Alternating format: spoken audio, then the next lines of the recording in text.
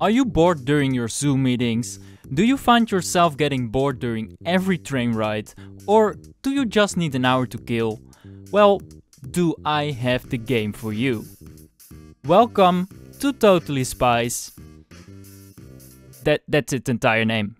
Totally Spies. Similar to the popular kids show, Totally Spies is about Sam, Alex and Clover, spies who try to save the world from an evil villain every episode. But in this game they do it by beating 16 whole minigames. Some say this is what Mario Party aspires to be. Uh, okay, not really, but you know. But yeah, that's pretty much the entire game. I have been hesitant about making a video on this very short game for a while, but not talking about it at all just doesn't do it justice. So, let's get to it. Totally Spies is a very straightforward game, just like many games on the Game Boy Advance. You look at the ugliest title screen, press start, press new game, and you're good to go. You are then immediately warped into the chapter selection screen, which is accompanied by a Compowder that just shows a random PNG that is barely related to whatever level you're selecting. If you know what a Compowder is, congratulations, you had a great childhood. If you don't, I'm sorry for your loss.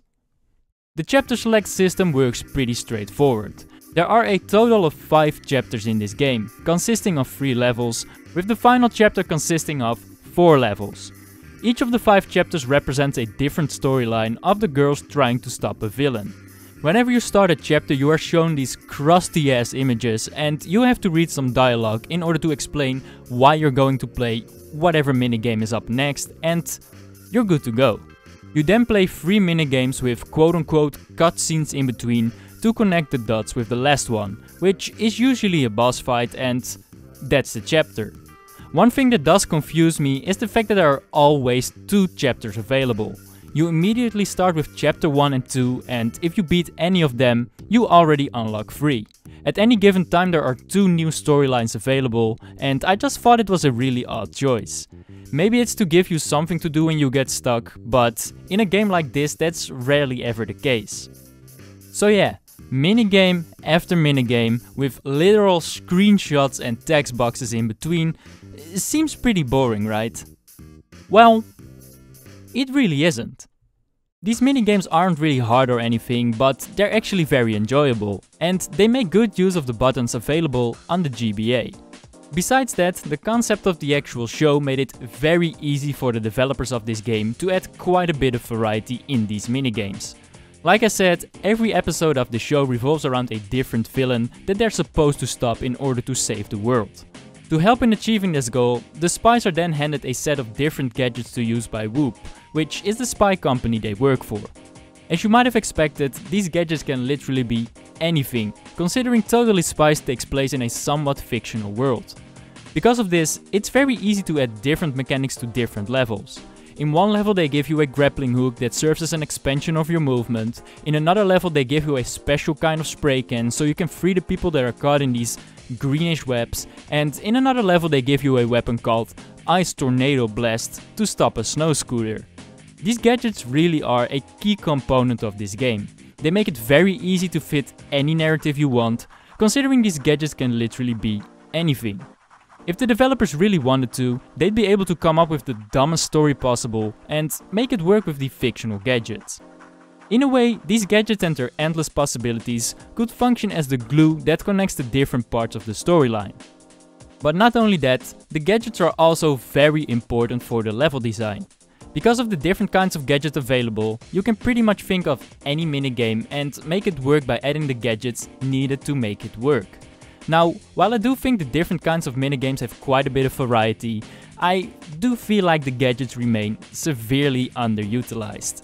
Like I said, there are gadgets like the grappling hook which add a whole new dimension to the game because you can suddenly grab onto the ceiling and these gadgets are really cool and truly add something.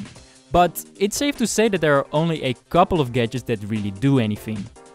Most of the levels are just pretty straightforward and would have been the exact same if the gadgets didn't exist at all. Like, I can avoid beams of light and jump from window to window without any fancy gadgets. To then give me an elevator remote before the level starts as a gadget is just so unnecessary and underutilizes the concept of cool, fictional gadgets. That being said, less than 2 minutes ago I mentioned that I thought the minigames were very enjoyable regardless. So I think it's about time to talk about the actual gameplay itself, since that's all there really is to this game. Although every minigame feels and looks like it's a different minigame, many of the concepts overlap in one way or another. You really can't fault the developers for any of this. The game was made on a very lackluster system and during a time that precision wasn't really as prominent in the video game world as it is today.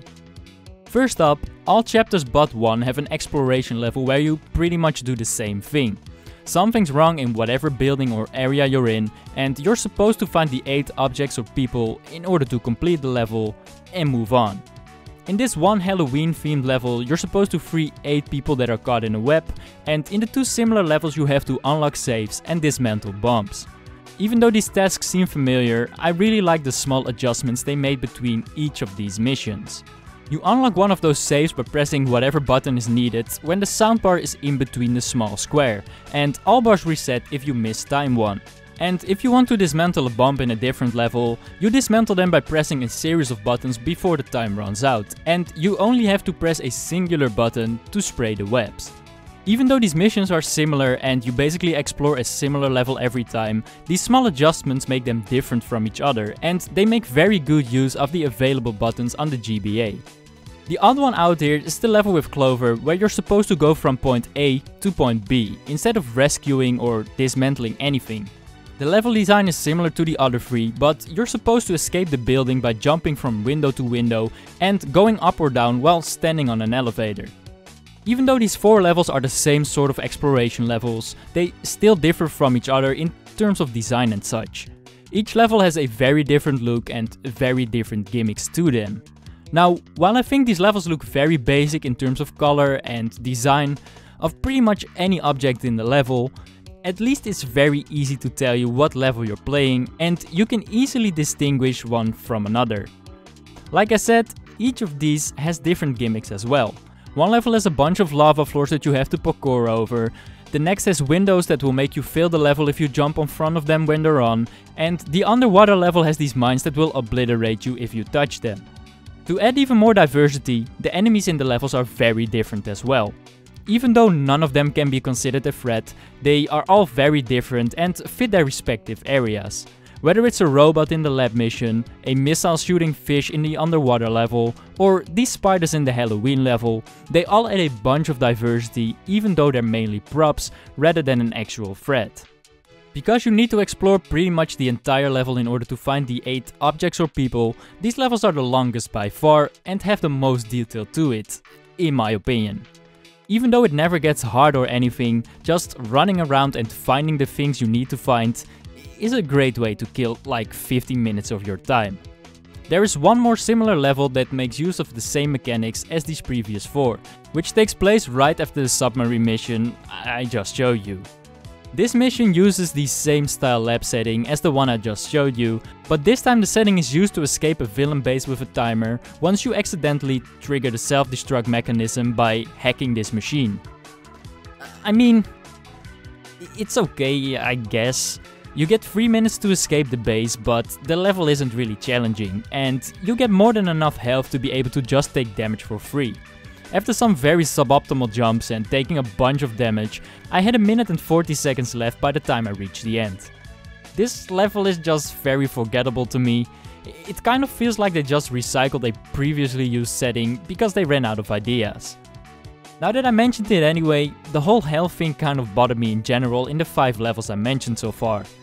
I mean, I get that the game is meant for little kids and not a grown ass adult like me, but the amount of health you get in these levels is really an overkill man. You can pretty much take damage from any enemy, take them all out and collect enough health to end the level with full health. Funnily enough, you can't even collect any health in other missions like the boss fights.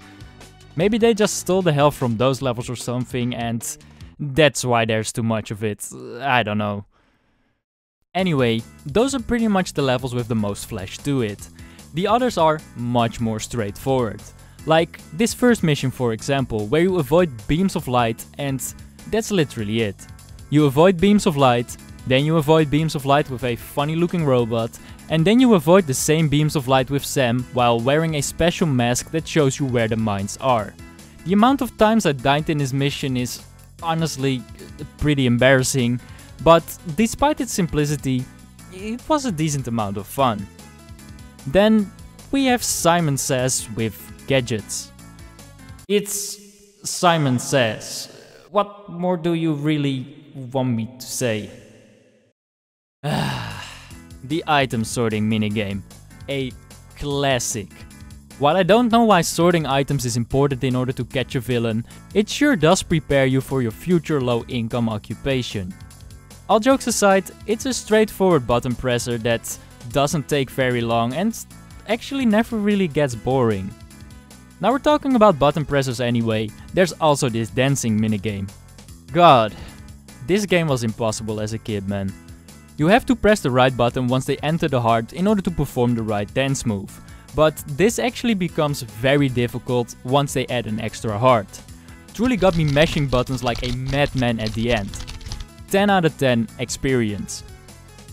Then we have a random standalone minigame where you explore a panic room because some creepy dude traps you in there after the dance level. This actually might be one of my favorite minigames because there's a bunch of different things you're supposed to do. You're first supposed to memorize a path to a machine that you need to hack in order to proceed and if you step on the wrong tile you fail and try again. You actually get to play as all three characters here, with each of them having a different path and machine to hack.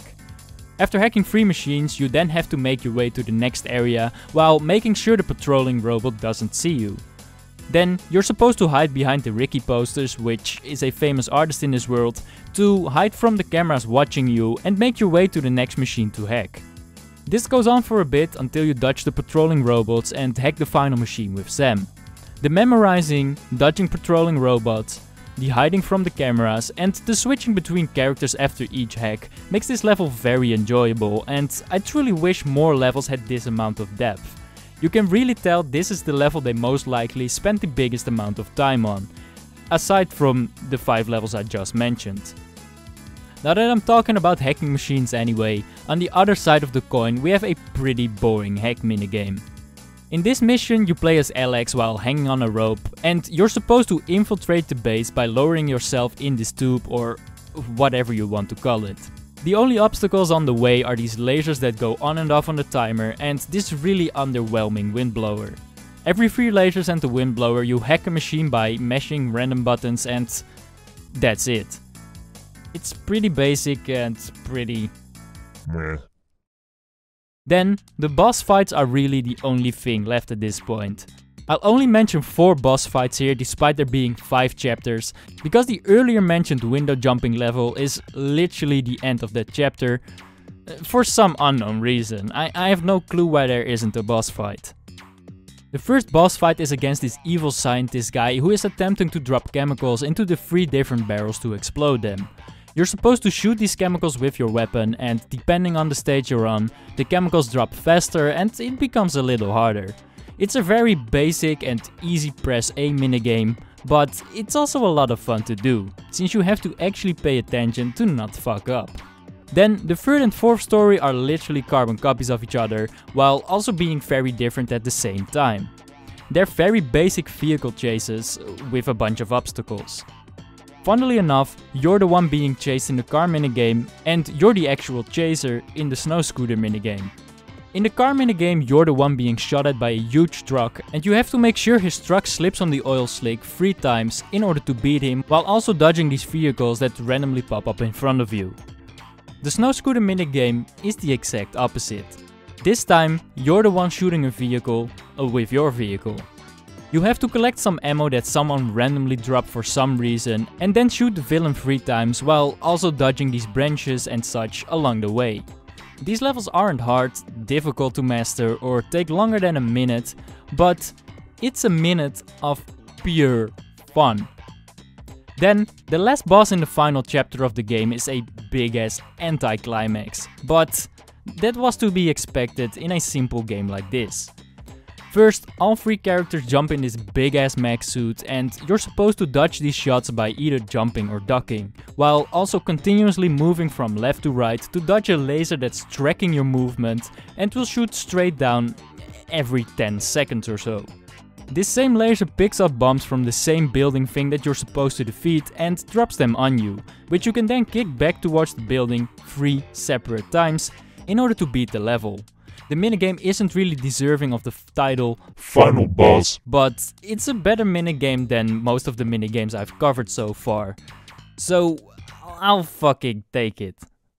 Then the game climaxes into what I feel like is one of the worst, if not the worst minigame in the entire game. All you do right here is fall down a mountain for some reason while dodging the shots that are fired at you. Every 20 seconds or so you can press R to grab whatever this thing is supposed to be and you're supposed to hack it. Do this 3 times and you win. That's literally it. Dodging the shots is very easy and doing the hacking thing for the 47th time in the game really doesn't enhance the experience either. It's a really boring way to end the game and you could have done a lot more with it, in my opinion. One general thing that I could have tweaked in most of these levels is the movement. It's not extremely bad, but it often feels very unresponsive, no matter the level you're playing. Even when the movement was a little slower like in the dodging lights level, the movement just wasn't precise enough and I failed the mission multiple times because of the poor responses to my inputs. You just take a lot of unnecessary damage because you move further than you intended and it just really starts to become annoying. Even if you do get enough health to collect to not completely game over. The movement especially pissed me off during the wall jumps. These wall jumps are literally based on luck and usually you're supposed to get towards some sort of a platform. Successfully landing on these feels like a random chance and it gets even worse when you're supposed to grab the floating platform first before pulling yourself up. It just feels so scuffed and so unfinished and that really wasn't needed. But the worst movement by far is the submarine level. I really can't with this fucking submarine, man. The movement is so bad. You press right for a millisecond and it just shoots you to the right like a goddamn missile, hitting one of the many mines you're supposed to navigate around. If you can beat this level without touching the mines then congratulations, you're a goddamn gaming legend because these controls feel like this thing is moving on ice. I don't know if they thought that making the thing move uncontrollably was the equivalent of adding water mechanics, but it for damn sure wasn't enjoyable, I can tell you that much. But yeah, that's it. That's literally the entire game summed up in a couple of minutes. There are two additional things you can do outside of these minigames that aren't even worth mentioning, but I'll do so anyway. Inside of some of the levels you can find these secrets in the form of flowers. After you have found one, you can go to the main menu and select the secrets option. In here, you'll see whatever secret you have unlocked and it will give you a code that you're supposed to use at totallyspies.com. Whenever you open this site now, it's completely inaccessible and thus this entire secret thing is pointless and not worth looking at. I tried looking for whatever the website was supposed to show you, but nobody ever gave a damn about this game, so I was unable to find anything relevant really. Other than that, you can also check the pictures that are used in the cutscenes in the gallery option if you for some reason feel like looking at low resolution images. If you spent more than 2 minutes on this, I'd consider you a lunatic if I'm being brutally honest. But yeah, that's all there really is to this game. Is it anything special or anything that's well thought out? No, it's a game for little kids that took me about 1 hour and 24 minutes to beat. But hey, it's fun for what it is. It's meant to be simplistic, both in gameplay and graphics, but also a fun experience for a younger audience. And I think it definitely achieved what it set out to achieve. I replayed this game during a mandatory Zoom meeting about a week ago, and I actually had an absolute blast. Before I knew it, the end credits rolled and I kinda wanted to play more of the same and I was kinda sad it ended. So yeah, to conclude this video, um, I'd like to note that I just made a video recommending a low effort kids game to kill time. So, um, yeah, I think it's safe to say we've officially hit a new low. Peace!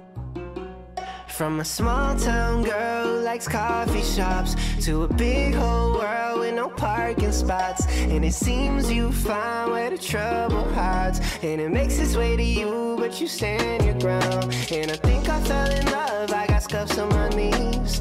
I feel so